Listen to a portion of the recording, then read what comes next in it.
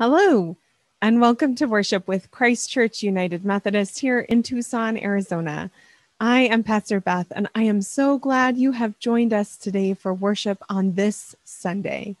We are preparing to celebrate the reopening of Christ Church United Methodist on Sunday, May 2nd, 2021. If you are one of our regular online attenders, we will continue to bring you the same outstanding pre recorded worship in the same way and place each week. However, if you are interested in attending our indoor service, please take a moment to register using the link on our homepage titled May 2021 Worship Registration so that we can save a seat for you and your family. Our services will be at 9 a.m. and 10:30 a.m. in the Christ Church Sanctuary. I cannot wait to meet you face to face.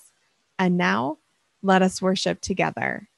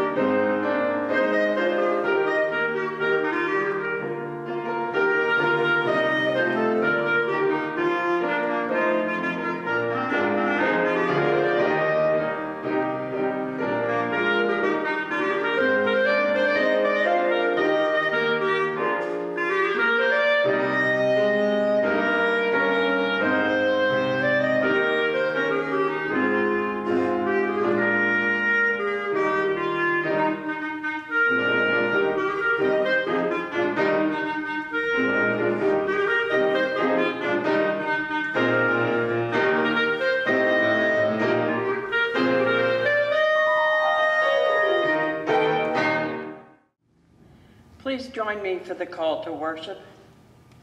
Whatever is closed, let God open. Whatever is missing, let God provide. Whatever is dead, let, let God, God revive. revive, like the disciples in the days after the resurrection. Let us meet you face to face and declare with our own lives, Christ is risen. Love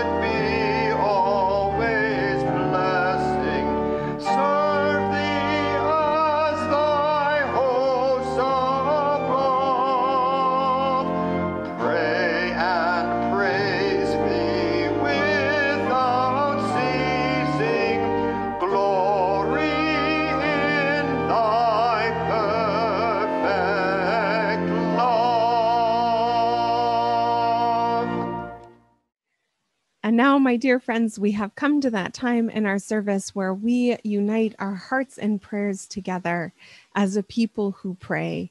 Will you join me in prayer? Breathe on us, breath of God. We are a people shut in, shut out, shut down, hushed by the realities of the world. We long to put our hands directly on the mystery, to touch, feel, see for ourselves be in the moment with you. Here now, in the quiet of this time, those places and people in our lives longing for your life giving breath of peace.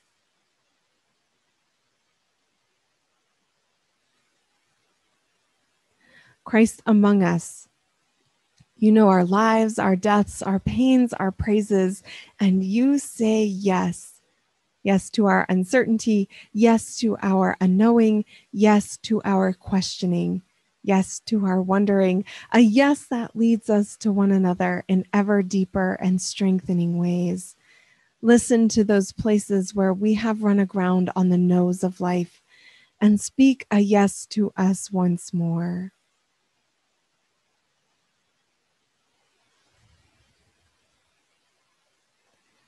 Spirit of the living God, fall afresh on us. Shape us in every way to the fellowship of faith where your grace, forgiveness, and redemption redeem us to life together with one another and with you. Living, meeting, loving God, these things we ask as we find ourselves face to face with the resurrection. Jesus, who breathes into us life again and again. Amen. Our scripture this morning comes from John 20, verses 19 to 30. When it was evening on that day, the first day of the week, and the doors of the house where the disciples had met were locked for fear of the Jews, Jesus came and stood among them and said, Peace be with you. After he said this, he showed them his hands and his side. Then the disciples rejoiced when they saw the Lord. Jesus said to them again, Peace be with you. As the Father has sent me, so I send you. When he had said this, he breathed on them and said to them, Receive the Holy Spirit. If you forgive the sins of any, they are forgiven them. If you retain the sins of any, they are retained. But Thomas, who was called the twin, one of the twelve, was not with them when Jesus came. So the other disciples told him, We have seen the Lord.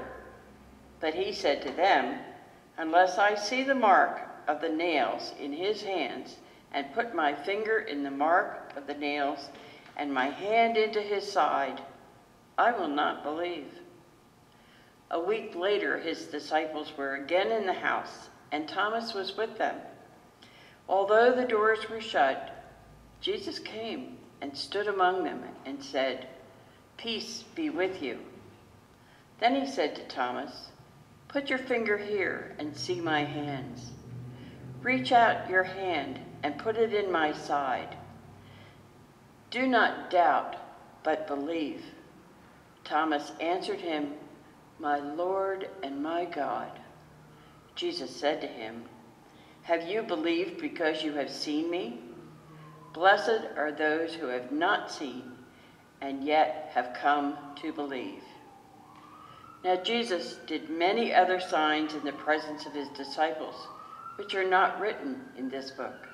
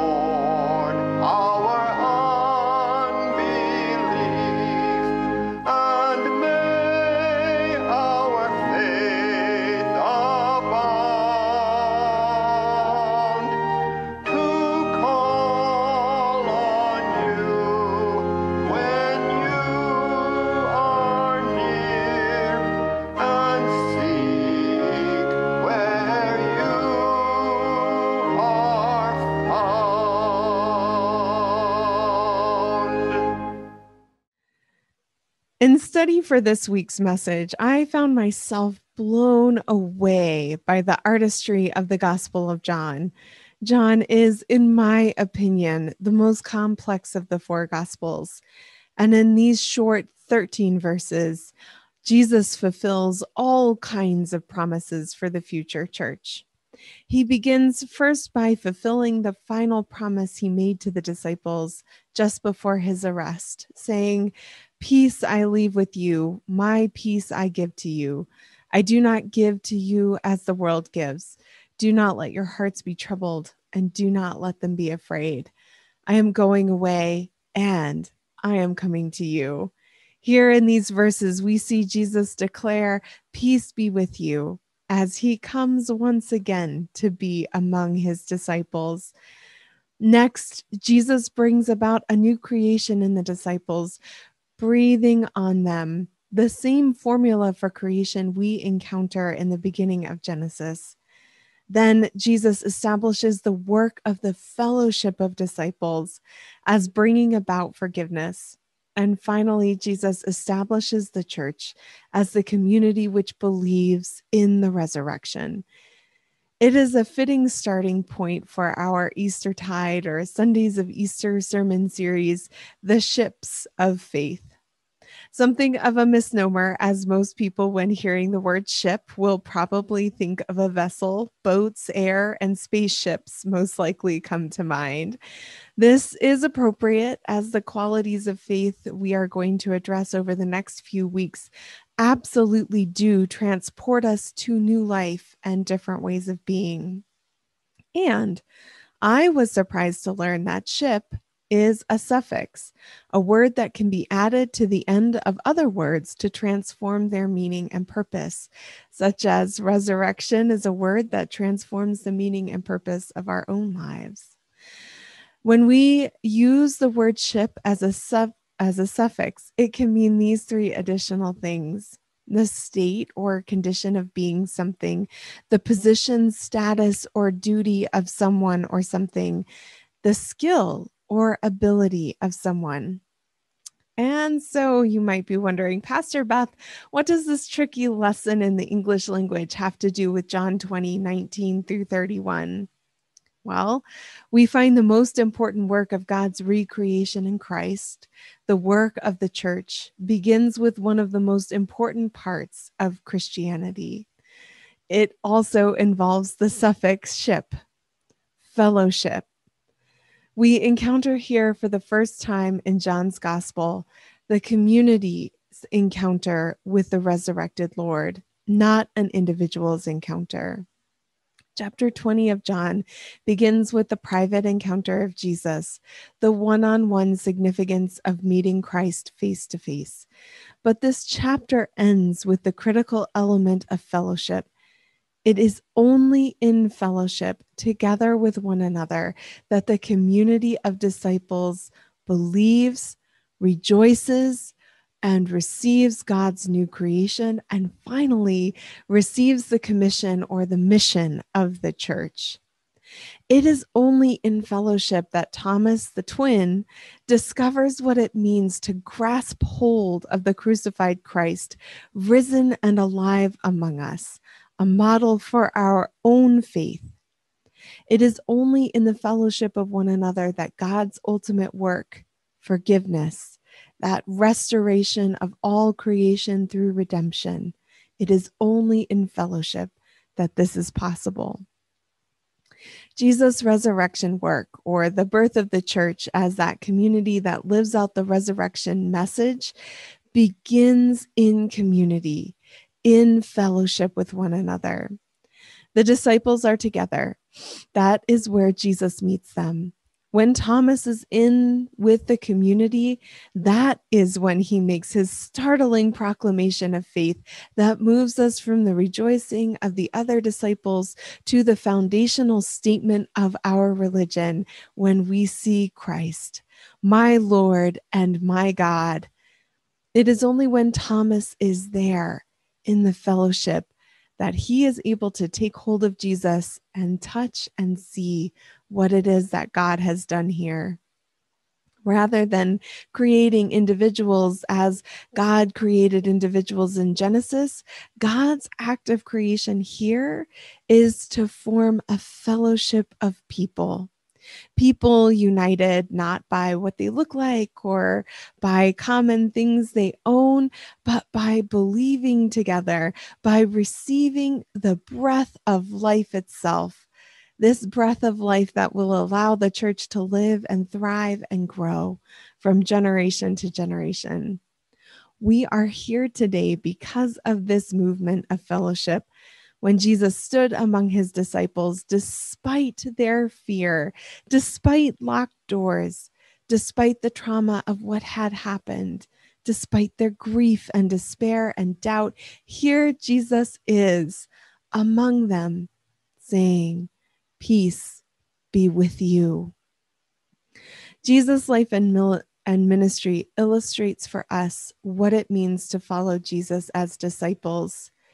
Jesus' resurrection teaches us what it means to be a church, a community bound together by our common experience of encountering the one who breathes into us the breath of God, the one who declares to us in the face of all that happens, Peace be with you who insists we not look away from the evil things humans are capable of doing to one another, but rather lovingly, forgivingly confronting those wounds and insisting that God will heal, that God is doing a bigger work, a redeeming work. And the fellowship, our community with one another, will give us the strength to endure as that work comes about. Partnership. So, what does fellowship mean? Well, in this context of the Old Testament, it means partnership in work. We partner with God as God partners with us. Fellowship is the present and future kingdom of God. Through faith, we know as surely as Thomas knew that when he declared, My Lord and my God, the resurrection began this work. This encounter of peace is only the beginning of transformation. This call to forgiveness is not an overnight solution that makes the world a better place, but it is the work we are committed to doing gradually, consistently, on and on. And we know that when we die, the work of our lives as Christians will continue. When our church changes, the work of God will continue. We are part of an eternal community that stretches back to this very moment in the Gospel of John and on into the future that not even our children's grandchildren can imagine.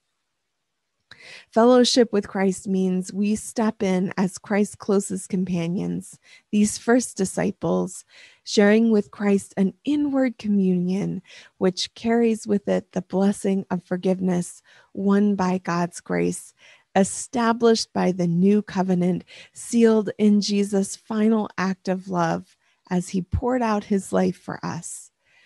Fellowship in Christ means living, suffering, dying, inheriting, and reigning with Jesus himself. It means sharing that same life with one another. Fellowship for us means a fellowship with the Spirit, that breath of God, fire of life, whirlwind of change that sets our faith ablaze with passion, compassion, so that we can fashion new ways of reaching one another and hearing one another when they reach out to us. Fellowship also means the partnership of faith that requires us to share. Share good news, share grace, share pain and suffering, share the goods we have, share revelation, and share forgiveness. And finally, fellowship means that we have become part of and created as a new family, one that shares together in the parenthood of God. All of this, all of this is here in these 13 verses that close out chapter 20 of John, where John's gospel engages once more with the symbolism of Genesis and breathes into the fellowship of disciples the new creation of the living body of Christ at work in this world. Our inheritance as a community of faith is founded on this moment of fellowship. So, I offer you this question How are we engaging in this fellowship life that declares my Lord and my God and recognizes the risen Christ at work in the world? Amen. Mighty God, who brings life and hope out of death and despair, Help us to hear the invitation Christ offered to the disciples. Peace be with you. Make us bold to grab hold of the risen Christ. May we offer our gifts this morning, not to the church historical, the church that was, but to a church that is becoming, that is still being born, that Christ will bring into the future May our eyes and ears and hearts continue to receive the living Christ. In his name we pray. Amen.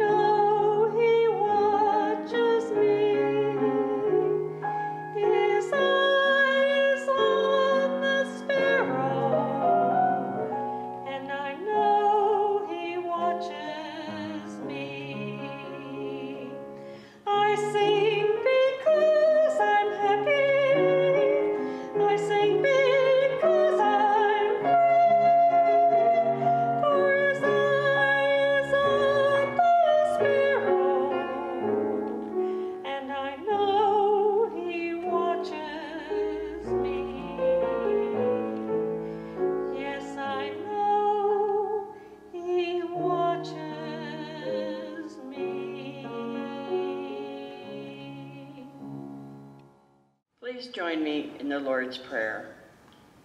Our Father, who art in heaven, hallowed be thy name.